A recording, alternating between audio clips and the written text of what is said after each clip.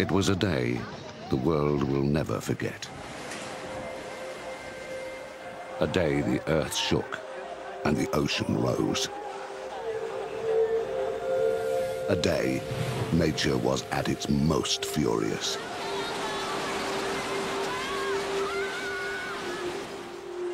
Those before her didn't stand a chance. Lives, homes, villages, dreams, all hit, all gone. But the darkest hour is often before the dawn and the family of man was blinding in its response. Together, people rallied. The devastation will never be forgotten. It's heartbreaking that I've lost my husband and lost the man that I loved, and that's what December 26 means to me.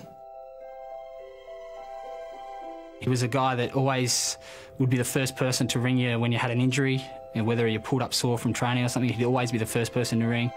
He, he sort of cared more about other people than about himself. Like, I remember my first game, he, he was so rapt that I got that I got a game. He was, I remember he was talking about it for the next couple of days, and uh, he's probably more excited when I got my first game than when he did. As those days kept on kept on going and going, it was uh, becoming more and more apparent that, that the likelihood was that we weren't going to going to find him. You hear stories about people, um, but you never think that it's going to happen to someone that's close to you. So the fact that uh, it's happened to one of, you know, basically one of our brothers, you know, we spent nearly every day with each other. Um, you know, it was pretty hard to take. It's still pretty hard to you know, comprehend that he's not, not coming back because it, it only, you know, only seems you know, not so long ago that he was here with us.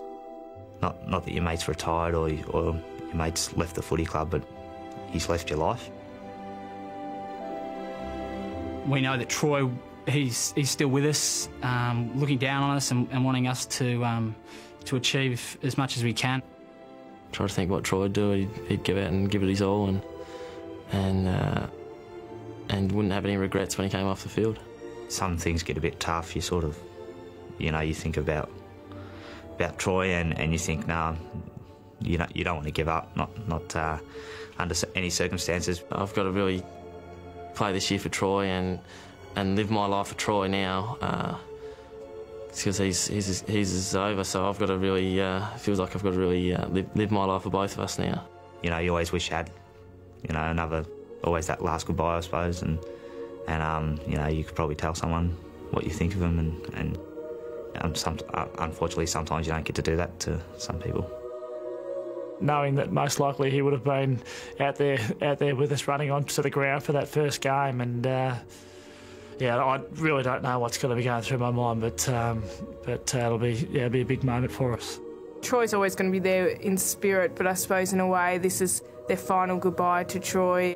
It is going to be a hard day for me because you always just hope that you'll see number 20 running around and but the support and how they're going to tribute Troy just makes me proud that I was so close to him and that he made such an impact on all these people.